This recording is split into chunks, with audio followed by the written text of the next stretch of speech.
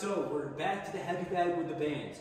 Now, as you know, I'm a big fan of heavy bag with the bands to simulate grasping, grabbing clothing, grabbing material.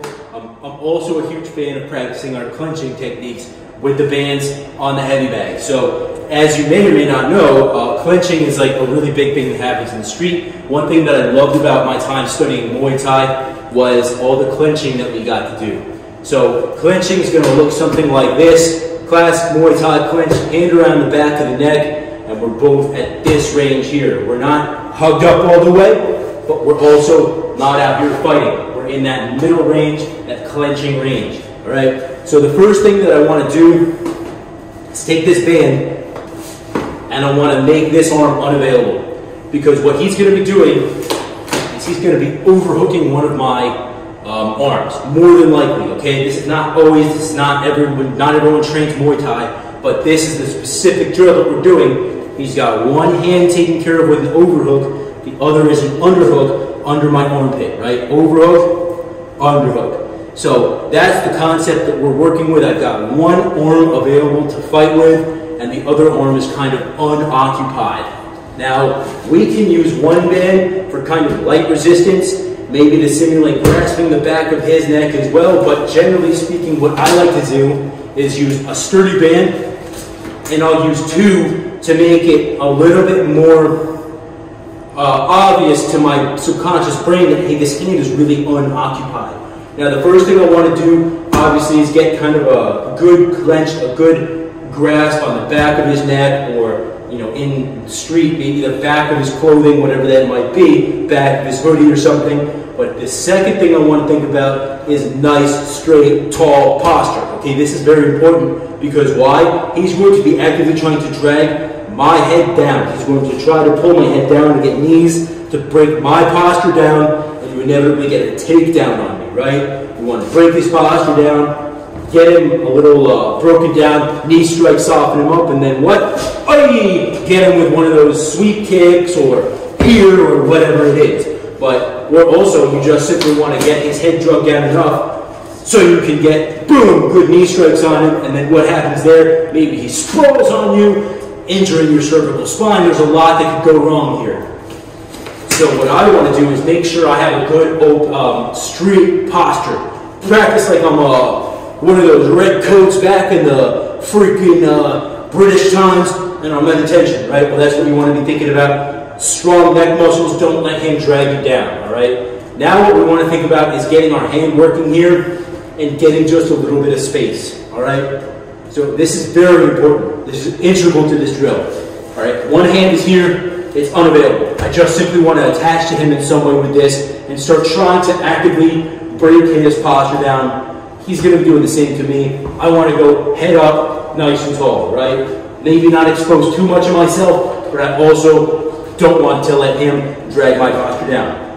Now, I don't want to stay here hugged up, and I don't want to be in kissing distance of him. I want to get this hand involved and push away a little bit. Next thing I want to do is I've got enough space now where I can start deploying an elbow. All right. Now, at this close of a range, again, we don't have the option yet of coming back and getting all of our body weight into the elbow. That's the point of this drill. All we are here, we've got enough space to deploy a short little choppy elbow. This is what I want you guys to start working with, is just posture up, get a little space, deploy that little short choppy elbow. I want you to work on getting as much power behind that short little choppy elbow as you can. So one, two, we've got a little bit of space here. Now notice how my footwork, my hips are. I'm going to drop my weight into this elbow as much as possible. Therefore, maximizing all of my body weight that I can get into this one small surface area. Now, where are we aiming this elbow? Obviously, we're aiming clavicles, nose, jaw, eyes, uh, all the same areas, temples that we usually would. Again, I have to, have to, have to preface this with, while I'm doing this, this guy is also going to be doing the same thing to me. So I have to actively be working on protecting myself, and any time that I make a little gap, that I make a little space here, not only is he at risk, but so am I. So as soon as I do this, I deploy that little choppy elbow, and I come back. I make space, deploy the elbow, come back. All right? Make space, deploy the elbow, come back. Maybe then I throw a knee. Maybe then I do something to try to break his posture down, right? So here, deploy that choppy elbow, I come back. Maybe then I step and I try to drag him away from me, right?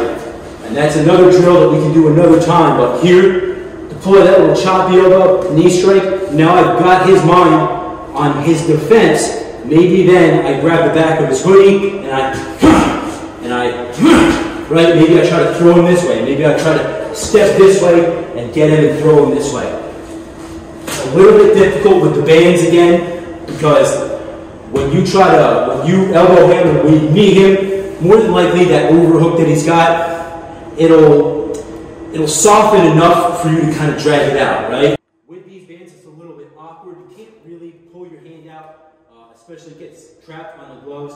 But we can simply go from here, make a little space, short choppy elbow, move, all right? Make a little space, short choppy elbow, move. And just practice moving a little bit so that in the street, make space, short, choppy elbow, move, and then you know step, throw him, whatever it is that you, you want to do.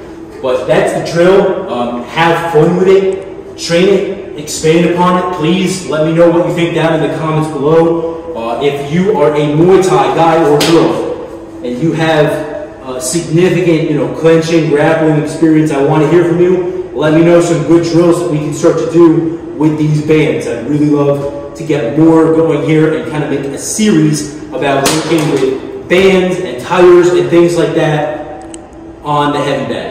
Until next time, please remember, check out the website, gutterfightingsecrets.com. We've got the original Gutter Fighting uh, Cabanas DVD, as well as some really kick-ass products uh, about espionage and training your mind to be a warrior, all that cool guy stuff.